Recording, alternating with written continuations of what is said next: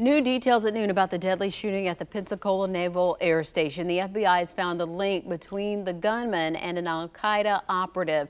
Officials say a Saudi student who was training at the base opened fire inside a classroom, killing three U.S. sailors last December. He was then shot and killed by a sheriff's deputy.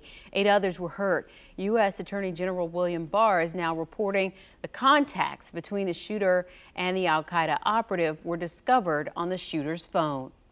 The new evidence shows that al Shamrani had radicalized not after training here in the United States, but at least as far back as 2015, and that he had been connecting and associating with a number of dangerous AQAP operatives ever since.